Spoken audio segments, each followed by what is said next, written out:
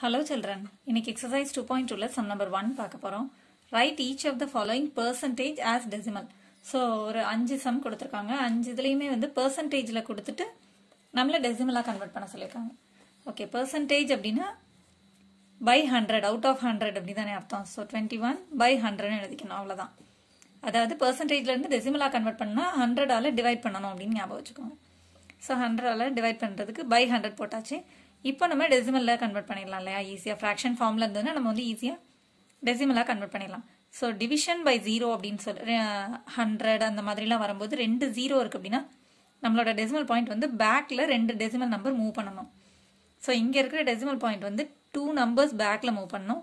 So நம்மளோட decimal point இங்கே வந்துடும் பாயிண்ட் டூ ஒன் வரும். ஸ்டார்டிங்கில் நமக்கு டெசிமல் பாயிண்ட் இருக்கிறதுனால ஒரு ஜீரோ சேர்த்தாச்சு. அவ்வளோதான்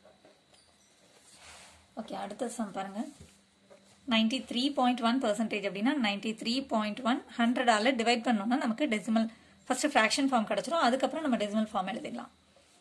இப்போ ஹண்ட்ரடால் டிவைட் பண்ண போகிறோம் அப்படின்னா கீழே வந்து ரெண்டு ஜீரோஸ் இருக்குது ஸோ நம்ம டெசிமல் பாயிண்ட்டை வந்து ரெண்டு நம்பர் பேக்கில் மூவ் பண்ணணும். ஸோ இங்கே இருக்கிற டெசிமல் பாயிண்ட் ஒன் டூ இங்கே மூவ் ஆகும். So this is equal to இப்போ என்ன ஆகுது? பாயிண்ட் நைன் த்ரீ ஒன்னு ஆகிடும் ஸ்டார்டிங்கில் டெசிமல் பாயிண்ட் இருக்கிறதுனால ஒரு ஜீரோ போட்டாச்சு. So this is the required answer இப்போ அடுத்த சம் பார்த்தீங்கன்னா hundred and fifty one percentage அப்படின்னா ஹண்ட்ரட் அண்ட் ஃபிஃப்டி ஒன்னு ஹண்ட்ரடால் டிவைட் பண்ணோம்னா நமக்கு ஃப்ராக்ஷன் ஃபார்ம் கிடச்சிரும். இப்போ நம்ம டெசிமலாக கன்வெர்ட் பண்ணிடலாம். ஸோ டிவிஷன் பை ஹண்ட்ரட் அப்படின்னு சொல்லும்போது லாஸ்ட்டாக எண்டிங்கில் நமக்கு ரெண்டு ஜீரோ இருக்குது அப்படின்னா ரெண்டு டெசிமல் நம்பர் பேக்கில் மூவ் பண்ணணும் டெசிமல் பாயிண்ட்டை ஸோ இப்போ ஒரு ஹோல் நம்பர் அப்படின்னா நமக்கு இங்கே இருக்க டெசிமல் பாயிண்ட்னு அர்த்தம். ஸோ இங்கே இருக்கிற டெசிமல் பாயிண்ட் வந்து ரெண்டு நம்பர் பேக்கில் மூவ் பண்ணணும். ஸோ ஒன் டூ நம்மளோட டெசிமல் பாயிண்ட் இங்கே வரப்போகுது. அதாவது ஒன்னுக்கும் ஃபைவுக்கும் நடுவில் So 1.51. So this is the decimal form. இப்போ அடுத்த சம் பாருங்க. சிக்ஸ்டி ஃபைவ் பர்சன்டேஜ் அப்படின்னா ஃபஸ்ட்டு ஃப்ராக்ஷன் ஃபார்மில் சிக்ஸ்டி ஃபைவ் பை ஹண்ட்ரட்னு எழுதிக்கணும். பர்சன்டேஜ்லேருந்து டெசிமலாக கன்வெர்ட் பண்ணணும்னா ஹண்ட்ரடால் டிவைட் பண்ணணும். ஸோ ஃபஸ்ட்டு ஹண்ட்ரடால் டிவைட் பண்ணும்போது நமக்கு ஒரு ஃப்ராக்ஷன் ஃபார்ம் கிடைக்கும். அதை நம்ம டெசிமலாக கன்வெர்ட் பண்ணிடலாம். ஸோ டிவிஷன் பை ஹண்ட்ரட் அப்படின்னு சொல்லும்போது எண்டிங்கில் ரெண்டு ஜீரோ இருக்குது அப்படின்னா ரெண்டு டெசிமல் நம்பர் பேக்கில் மூவ் பண்ணணும். நம்மளோட டெசிமல் பாயிண்ட்டை ஸோ ஒரு ஹோல் நம்பர்னா அதுக்கு எண்டிங்கில் இங்கே டெசிமல் பாயிண்ட் இருக்குன்னு அர்த்தம். பேக்கில் ரெண்டு நம்பர் மூவ் பண்ணணும்னு சொல்லும்போது ஒன் டூ ஸோ நம்மளோட டெசிமல் பாயிண்ட் இங்கே வரப்போது பாயிண்ட் சிக்ஸ் ஃபைவ்னு வந்துடும் ஸ்டார்டிங்கில் டெசிமல் பாயிண்ட் இருக்கிறதுனால ஒரு ஜீரோ போட்டுக்கிறோம். இப்போ இந்த சம்மில் பார்த்தீங்கன்னா ஜீரோ பாயிண்ட் சிக்ஸ் ஃபோர் பர்சன்டேஜ்னு கொடுத்துருக்காங்க. So zero point six four by hundred அப்படின்னு அர்த்தம்.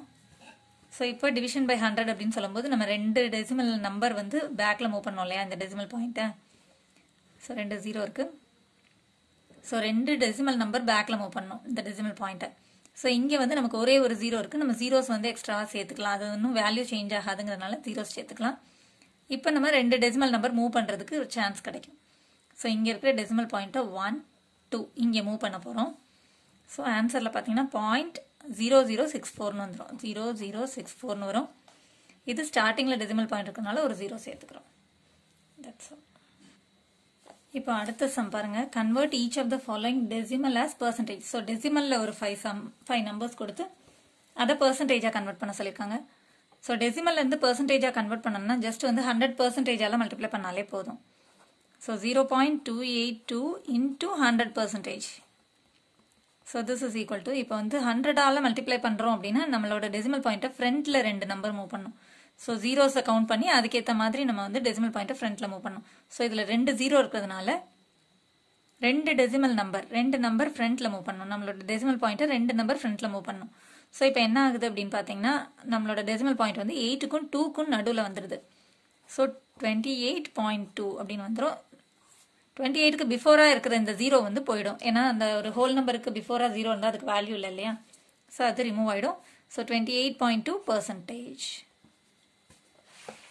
okay அடுத்த சம் பாருங்கள் ஒன் பாயிண்ட் ஃபைவ் ஒன் அப்படிங்கிற டெசிமலை நம்ம இப்போ பர்சன்டேஜாக கன்வெர்ட் பண்ண போகிறோம் so one point five one into hundred percentage so இப்போ ரெண்டு ஜீரோஸ் இருக்குது மல்டிப்ளிகேஷனில் ஹண்ட்ரட்னு இருக்கும்போது ரெண்டு ஜீரோ எண்டிங்கில் இருக்குது அப்படின்னா நம்மளோட டெசிமல் பாயிண்ட்டை ஃப்ரண்ட்டில் மூவ் பண்ணணும். மல்டிப்ளிகேஷனில் இருக்கும்போது ஃப்ரண்ட்டில் டெசிமல் பாயிண்ட்டை மூவ் பண்ணணும். டிவிஷனில் இருந்தால் டெசிமல் பாயிண்ட்டை பேக்கில் மூவ் பண்ணணும். அவ்வளோதான் ஸோ இப்போ மல்டிப்ளிகேஷனில் இருக்கனால நம்மளோட டெசிமல் பாயிண்ட்டை ஃப்ரண்ட்டில் மூவ் பண்ண போகிறோம் இதில் ரெண்டு ஜீரோ இருக்குது ஸோ ரெண்டு டெசிமல் நம்பர் ஃப்ரண்ட்டில் மூவ் பண்ண போகிறோம் ஸோ ஒன் டூ நம்மளோட டெசிமல் பாயிண்ட் வந்து இப்போ ஃப்ரண்ட்டுக்கு வந்துருச்சு. ஹோல் நம்பருக்கு ஃப்ரண்ட்டில் வந்தால் நம்ம அதை வைக்கணும்னு அவசியம் இல்லை.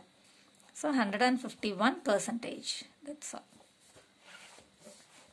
இப்போ இதில் பார்த்தீங்கன்னா ஒன் பாயிண்ட் ஜீரோ நைன்னு இருக்குது ஸோ இதை பர்சன்டேஜாக கன்வெர்ட் பண்ணும்போது one point zero nine into hundred percentage so this is equal to ஹண்ட்ரடால் multiply பண்ண போகிறோம் ஸோ ரெண்டு ஜீரோ எண்டிங்கில் இருக்கிறதுனால ரெண்டு டெசிமல் நம்பர் ஃப்ரண்ட்டில் மூவ் பண்ண போகிறோம் ஸோ இங்கே இருக்கிற டெசிமல் பாயிண்ட் ஒன் டூ ரெண்டு நம்பர் ஃப்ரண்ட்டுக்கு மூவ் ஆனால் ஹோல் நம்பர் ஆகிடுது ஸோ ஃப்ரண்ட்டுக்கு வந்துடுது இல்லையா? ஏதாவது ரெண்டு நம்பருக்கு மிடில் இருந்தால் கண்டிப்பாக அந்த நம்பர் மிடில் எழுதிடுவோம். நம்ம டெசிமல் பாயிண்ட் வைப்போம். இப்போ இது ஃப்ரண்ட்டுக்கு வந்ததுனால அந்த டெசிமல் பாயிண்ட்டை வைக்கணும்னு அவசியம் இல்லை. So hundred and nine percentage okay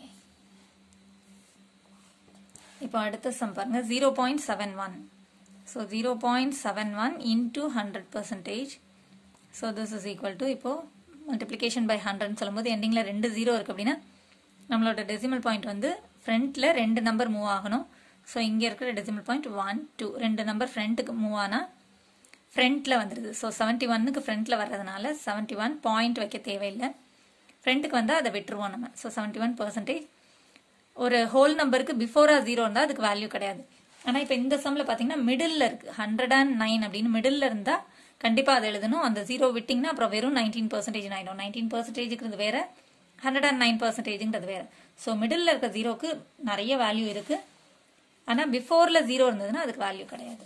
so அந்த ஜீரோ விட்டுரும். நம்ம செவன்ட்டி ஒன் பர்சன்டேஜ் ஆகிடுது இப்போ இந்த சம்மில் பார்த்தீங்கன்னா zero point eight five eight into hundred percentage பண்ணோன்னா இப்போ எண்டிங்கில் ரெண்டு ஜீரோ இருக்குது ஸோ நம்மளோட டெசிமல் பாயிண்ட் ரெண்டு நம்பர் ஃப்ரண்ட்டுக்கு மூவ் ஆகணும். இங்கே இருக்கிறது ஒன் டூ ரெண்டு நம்பர் ஃப்ரண்ட்டுக்கு மூவ் ஆனால் டெசிமல் பாயிண்ட் வந்து ஃபைவுக்கும் எயிட்டுக்கும் மிடில் வந்துடுது ஸோ எயிட்டி ஃபைவ் பாயிண்ட் எயிட்டுன்னு ஆகிடும் இங்கேயும் பார்த்தீங்கன்னா பிஃபோரில் இருக்கிற ஜீரோக்கு வேல்யூ கிடையாததுனால விட்டுறோம் நம்ம. So this much of percentage இப்போ அடுத்த சம் பாருங்க. In an examination a student score seventy five percentage of marks represent the given percentage in decimal form so வந்து ஜஸ்ட் பர்சன்டேஜில் இருக்கிறத நம்ம டெசிமல் ஃபார்மில் கன்வெர்ட் பண்ணோம். அதை வந்து உங்களுக்கு அதோட யூசேஜ் மாதிரி பர்சன்டேஜை எந்த இடத்துல நம்ம யூஸ் பண்ணியிருப்போம் அப்படிங்கிற மாதிரி அதில் வந்து ஒரு வேர்ட் ப்ராப்ளம் மாதிரி கொடுத்துருக்காங்க. ஸோ நம்மளும் அதுக்கு ஸ்டேட்மெண்ட் எழுதிடலாம். So percentage of marks scored by the student equal to seventy five percentage எவ்வளோ பர்சன்டேஜ் வந்து uh, ஸ்கோர் பண்ணியிருக்காங்க அப்படின்னா செவன்டி ஃபைவ் பர்சன்டேஜ் அதை டெசிமல் ஃபார்மில் எழுதணும் இல்லையா? ஸோ ஃபர்ஸ்ட் இதை வந்து செவன்டி ஃபைவ் பை ஹண்ட்ரட் அப்படின்னு ஃப்ராக்ஷன் ஃபார்மில் எழுதிட்டு இப்போ இதை டெசிமல் ஃபார்மில் எழுதணும். ஸோ இப்போ டிவிஷன் பை ஹண்ட்ரட் அப்படின்னு சொல்லும்போது எண்டிங்கில் ரெண்டு ஜீரோ இருக்குது அப்படின்னா நம்மளோட டெசிமல் பாயிண்ட் வந்து பேக்கில் டூ நம்பர்ஸ் மூவ் பண்ணணும். ஸோ டிவிஷன்னா டெசிமல் பாயிண்ட் பேக்கில் மூவ் பண்ணணும் அப்படின்றத ஞாபகம் வச்சுக்கோங்க. ஸோ இங்கே இருக்கிற டெசிமல் பாயிண்ட் ஒரு ஹோல் நம்பர் அப்படின்னா அதோட எண்டிங்கில் டெசிமல் பாயிண்ட் இருக்குன்னு அர்த்தம். ஸோ இங்கே இருக்கிற டெசிமல் பாயிண்ட் வந்து பேக்கில் டூ நம்பர்ஸ் மூவ் பண்ணணும் ஸோ ஒன் டூ அப்போ நம்மளோட டெசிமல் பாயிண்ட் இங்கே வந்துடும் so point seven five zero point seven five that's so this is the required answer zero point seven five இப்போ அடுத்த சம் பாருங்க. In a village seventy point five percentage people are literate literate அப்படின்னா படிச்சவங்கன்னு அர்த்தம். ஒரு கிராமத்தில் எவ்வளோ percentage of people வந்து படிச்சிருக்காங்க அப்படின்னா seventy five point five percentage of people வந்து லிட்ரேட்டாக இருந்தாங்க. Express it as a decimal so பர்சன்டேஜில் இருக்கிறத நம்ம ஜஸ்ட் வந்து டெசிமலில் கன்வெர்ட் பண்ண போகிறோம் அவ்வளோதான் இதுலேயும். ஸோ இதுக்கும் வந்து நம்ம ஸ்டேட்மெண்ட் எழுதிடலாம். So percentage of literate people is எவ்வளோ பர்சன்டேஜ் ஆஃப் பீப்புள் வந்து படிச்சிருக்காங்க அப்படின்னா seventy point five percentage decimal ஃபார்மில் எழுதுறதுக்கு ஃபஸ்ட்டு வந்து நம்ம ஃப்ராக்ஷன் ஃபார்மில் எழுதணும் இல்லையா? So fraction form is equal to seventy point five by hundred so இப்போ டிவிஷன் பை ஹண்ட்ரட் அப்படின்னு சொல்லும்போது லாஸ்ட் எண்டிங்கில் ரெண்டு ஜீரோ இருக்குது அப்படின்னா நம்மளோட டெசிமல் பாயிண்ட் வந்து ரெண்டு நம்பர் பேக்கில் மூவ் பண்ணணும். ஸோ இங்கே இருக்கிற டெசிமல் பாயிண்ட் வந்து ரெண்டு நம்பர் பேக்கில் மூவ் பண்ணணும். ஒன் டூ ஸோ நம்மளோட டெசிமல் பாயிண்ட் இங்கே வருது. So decimal form is equal to point seven zero five இப்போ ஸ்டார்டிங்கில் டெசிமல் பாயிண்ட் இருக்கிறதுனால நம்ம zero சேர்த்துறோம். So this is the decimal form zero point seven zero five அடுத்த சம் பாருங்க. Scoring rate of a batsman is eighty six percentage so ஒரு batsman வந்து எவ்வளோ score பண்ணியிருக்காரு அப்படின்னா எயிட்டி சிக்ஸ் பர்சன்டேஜ் வந்து ஸ்கோர் பண்ணியிருக்காரு. Write is strike rate as decimal so இந்த பர்சன்டேஜ் அப்படியே ஜஸ்ட் வந்து டெசிமல் எழுத சொல்லியிருக்காங்க அவ்வளோதான் scoring rate of a batsman in percentage so பர்சன்டேஜில் எயிட்டி சிக்ஸ் பர்சன்டேஜ் அவர் ஸ்கோர் பண்ணியிருக்காரு.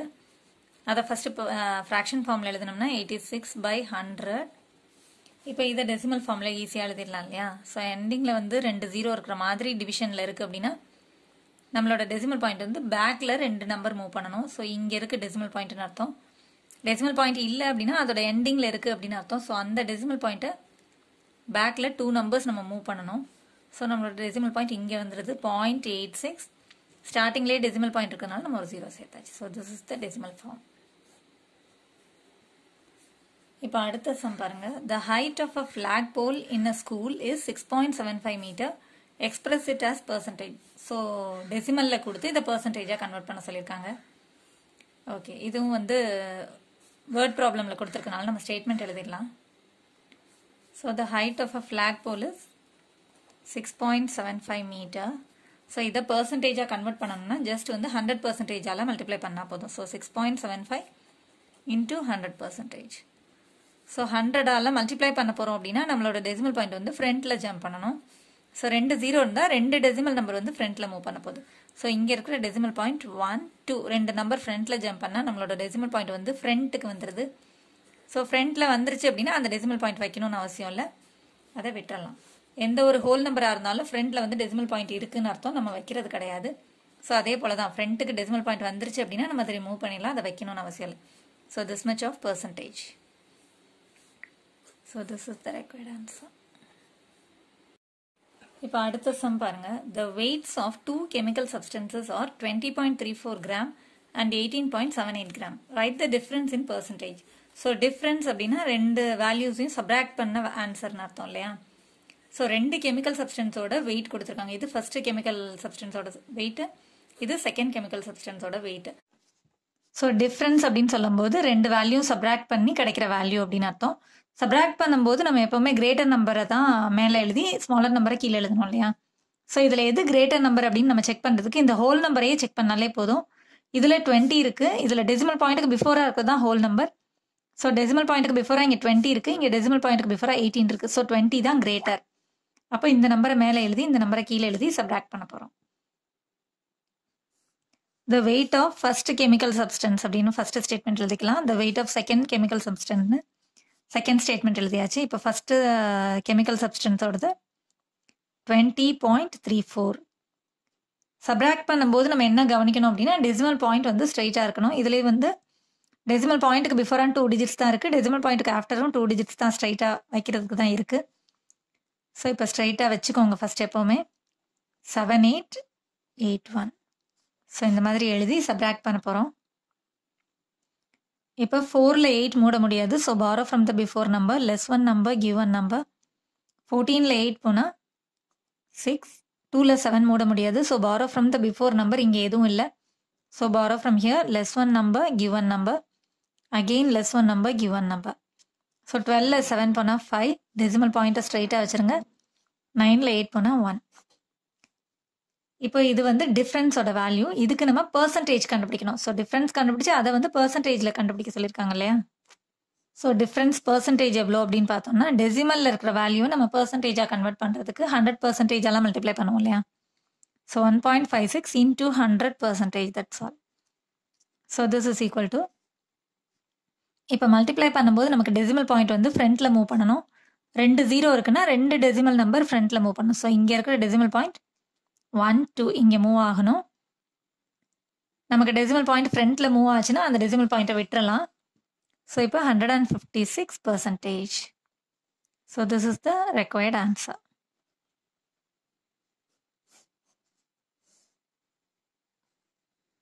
இப்போ அடுத்த சம் பாருங்க. Find the percentage of shaded region இந்த ஃபாலோயிங் ஃபிகர் ஸோ ஒரு ஃபிகர் கொடுத்து அதில் ஷேடர்ட் ரீஜனோட பர்சன்டேஜ் எவ்வளோ அப்படின்னு கேட்டிருக்காங்க. ஸோ ஃபர்ஸ்ட் வந்து ஷேடட் ரீஜனுக்கு நம்ம வந்து ஃப்ராக்ஷன் ஃபார்ம் எழுதிடலாம். ஸோ ஃப்ராக்ஷன் ஃபார்மில் நம்ம எழுதிட்டோம் அப்படின்னா அதுக்கப்புறம் நமக்கு பர்சன்டேஜில் கன்வெர்ட் பண்ணுறது ஈஸி தானே? ஹண்ட்ரட் பர்சன்டேஜால மல்டிப்ளை பண்ணிட்டா போதும். ஸோ ஃபர்ஸ்ட் வந்து இதோட ஃப்ராக்ஷன் ஃபார்மில் எழுதுறதுக்கு ஸோ ஃப்ராக்ஷன் ஃபார்மில் எழுதுறது அப்படின்னா என்ன? நியூ டினாமினேட்டரில் uh, நம்ம டோட்டல் பார்ட்ஸ் எழுதுவோம் இல்லையா? ஸோ டோட்டலாக எத்தனை இருக்குது ஒன் டூ த்ரீ ஃபோர் எல்லாத்தையும் சேர்த்து டோட்டலாக ஃபோர் பார்ட்ஸ் இருக்குது ஸோ அதுதான் நம்மளுக்கு டினாமினேட்டரில் வரணும். அதில் ஷேடட் ரீஜன் தான் கேட்டிருக்காங்க இல்லையா? ஸோ ஷேடட் ரீஜன் வந்து ஒன் அதுதான் நியூமரேட்டரில் எழுத போகிறோம் ஸோ இதுதான் ஃப்ராக்ஷன் ஃபார்ம் ஃப்ராக்ஷன் ஃபார்ம் அப்படின்னாலே டோட்டல் பார்ட்ஸ் வந்து டினாமினேட்டரில் இருக்கணும். ஷேடட் ரீஜன் அன்ஷேடட் ரீஜனை பற்றி கேட்டிருந்தாங்கன்னா அன்ஷேடட் ரீஜன் எத்தனையோ அதுதான் நியூமரேட்டரில் வரணும். ஸோ இதில் வந்து ஷேடட் ரீஜனை பற்றி சொல்லியிருக்கனால ஷேடட் ரீஜன் எத்தனை அப்படிங்கிறது அதை மேலே எழுதுறோம்.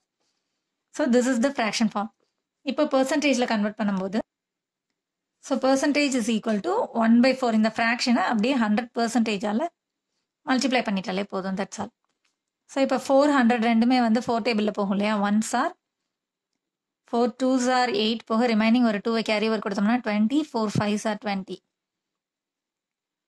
ஸோ இப்போ டினாமினேட்டரில் ஒன் வந்துச்சுன்னா நம்ம சிம்பிளிஃபை பண்ணி முடிச்சாச்சுன்னு அர்த்தம். Twenty five one sir twenty five percentage that's all thanks for வாட்சிங் children